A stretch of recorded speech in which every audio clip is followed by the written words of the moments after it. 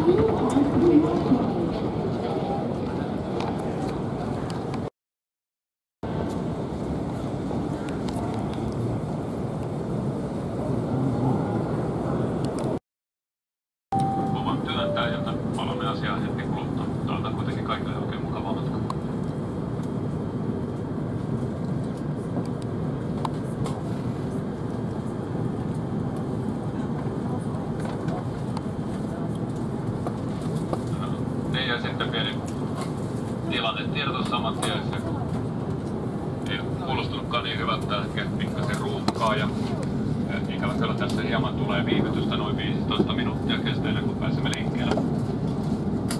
Lentoaikamme tänään tulee olemaan kovaan vastatuulen 10 tuntia 45 minuuttia, joten hieman tulemme saapumaan Helsinkiin myöhässä. Ää, arviolta noin 20 minuuttia myöhässä, eli kello 15.20 arvioitettu aika. Säätiellä perillä pilvistä, heikkoa lumisadetta ja lämpötila nolla. Yleistymäistä huolimatta toivotan teille kaikille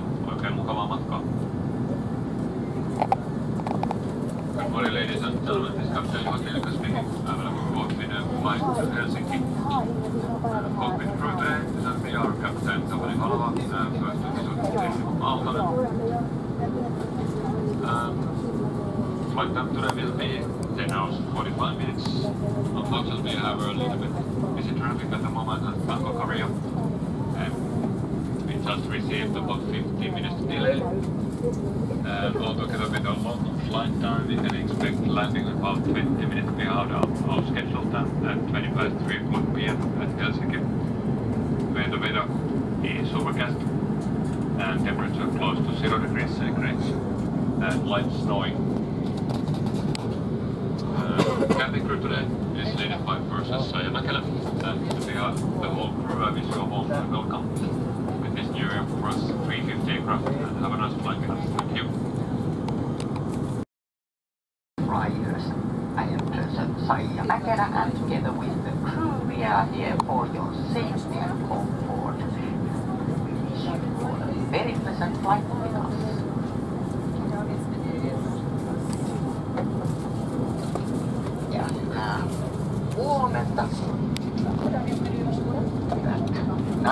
miehet ja lapsoset ja lämpimästi tervetuloa Finnaadin Vanverin lennolle sinne Helsinkiin myös kabinimiehistön puolesta.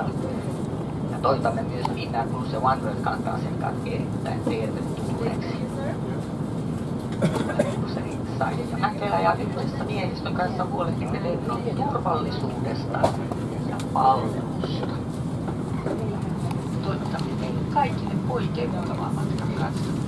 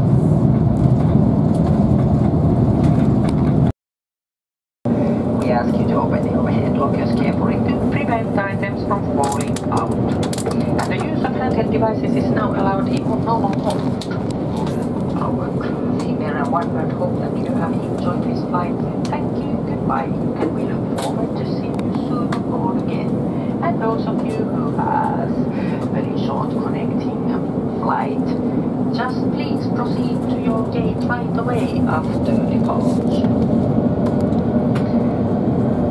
Arvoisat asiakkaamme, tervetuloa Helsinkiin. Pyydämme teitä kuitenkin vielä istumaan paikallenne turvavyö kiinnitettynä, kunnes turvavyömerkkivalo on sammutettu. Ja olette varovaisia avata matkatavarahyllylukue, ettei tavaroita pääse putoilemaan. Mobiililaitteiden käyttö normaalitilassa on nyt jälleen sallittu. Ja koko miehistö Finnair ja OneWorld toivovat teidän viihtyneen tällä lennolla. Kiitos ja tervetuloa uudelleen. Ja oikein mukavaa iltapäivän jatkoa teille kaikille. Mina damer och herrar, välkomna till Helsingfors. Äntligen sitter kvar på era platser med säkerhetsbältet fastspänt tills skylten för säkerhetsbältet har släckts. Var försiktiga när ni öppnar bagageluckorna så att ingenting faller ut. Det är tillåtet att använda mobilapparater normalt. Min, hela besättningen Finnair och OneWorld hoppas att ni har trivits ombord på det här flyget.